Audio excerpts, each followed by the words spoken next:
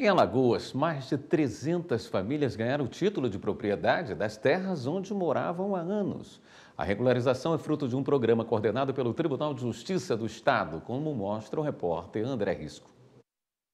380 famílias de Rio Largo foram beneficiadas com a entrega dos títulos do Programa de Regularização Fundiária, o Moradia Legal.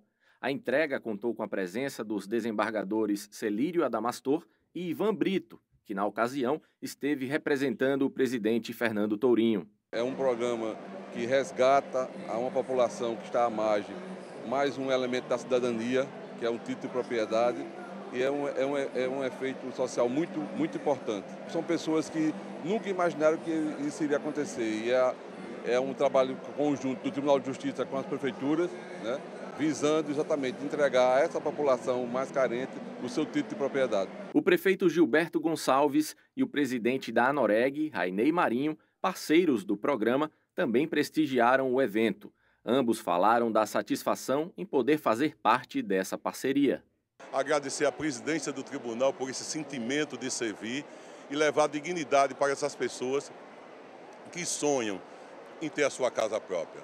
Eles deixaram de ter a posse, vai ter a propriedade, é um patrimônio que vai ficar para a família, que pode vender, pode é, emprestar, receber através de empréstimo alguma garantia que ele vai dar para receber algum empréstimo, se precisar do momento de emergência. Isso representa uma coisa muito importante, um valor muito importante na vida dessas pessoas que vão ter a partir de hoje o seu patrimônio. A Noreg participa ativamente da parceria, levando é, essa legalidade jurídica, segurança jurídica através dos registradores de imóveis. Eu tenho que agradecer a dedicação de cada um dos registradores de imóveis, levando a essa população o título aquisitivo dos imóveis deles. Há 32 anos que a Maria José vive na mesma casa.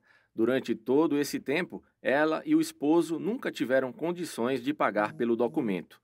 Hoje, com um sorriso no rosto, ela pôde fazer parte da realização de um sonho. Agora eu posso dizer né, que a casa é nossa, nós podemos vender né, e também assim, desfrutar né, dessa maravilha que foi acontecido nesse momento, né? Entrega esse documento. É um dia para comemorar? É um dia para comemorar, sim, com certeza, né?